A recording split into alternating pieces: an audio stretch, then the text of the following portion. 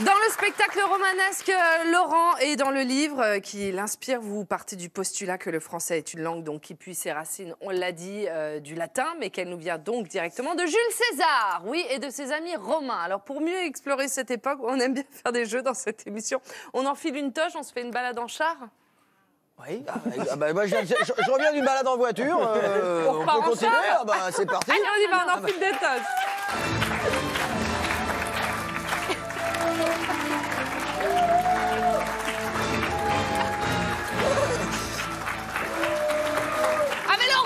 Oui.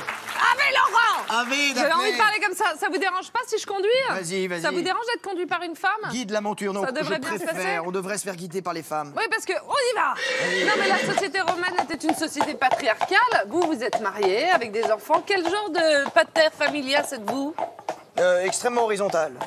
Extrêmement horizontal, c'est-à-dire Oui, c'est-à-dire. Non, c'est-à-dire que les décisions sont a souvent une petite brise, c'est agréable. Les décisions sont collées. Ah, vous aussi, vous vous y mettez C'est agréable. Mais qu'est-ce qu'on m'en veut aujourd'hui Les décisions sont collégiales. Oh, regardez, on est sur la Via. Oui. C'est très beau. Hein. oui. Cette toche vous va très bien. Vous portez Oui, quelque chose en dessous Je te renvoie le compliment. Non, comme les Écossais. Ça, c'est bien. Les Romains avaient un autre rapport, justement, avec le corps que le nôtre, notamment en ce qui concerne la nudité. Est-ce que vous êtes pudique? Mec, qui a un problème de taille. Non, c'est moi qui ai un problème de taille. J'ai fait l'émission. Léa Qu'est-ce qu'elle est, qu'est-ce qu'elle est grande Est-ce que vous êtes pudique? Euh, oui, un peu quand même.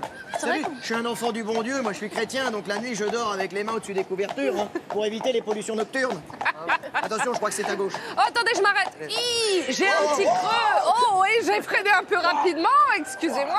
Ah, sont. On prend un truc à manger, s'il vous plaît Oh, regardez On va prendre un Big Maximus et un smoothie. Et voilà, je crois que c'est ce que tu as commandé. C'est un smoothie à la roquette. Ça vous va Délicieux, Et délicieux. un Big Maximus Oh là là, il savait bien. il On savait- est reparti Il savait bouffer. Ah Oui, attention Oui J'ai perdu mon Il a hamburger. volé J'ai perdu mon Big non, Mac. parce que le smoothie à la roquette pour Mon les, pour les. Romains, la roquette était un aphrodisiaque extraordinaire hein, pour les Romains. Bon bah bois, bois, bois. Oui, ça marche sur vous Euh, je sais pas, mais j'aimerais que ça marche sur toi déjà, moi.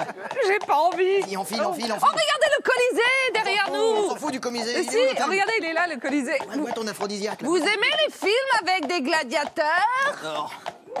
Alors attendez, parce qu'il est très beau le Colisée de Rome. Attendez, je freine un gladiateur Euh, évidemment.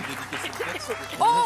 Le gladiateur voudrait un autographe de Laurent Sur le- Dux. sur le Ça vous dérange pas, Laurent? Oh bah non, pas du tout. Tenez, je mets un Dis petit donc. cœur. Voilà. Laurent, Laurentus. Non, parce que les Romains avaient une vision de la sexualité moins binaire Laurent que la nôtre, notamment en ce qui concerne l'homosexualité. Comment vous auriez vécu cela, vous? Ah, moi je suis ouvert à tout, moi. Ouais, c'est ça. hein. Moi, à partir du moment où on me fait découvrir des horizons nouveaux, je suis pas contre. Je vous remercie, j'ai envie de pleurer quand vous dites ça.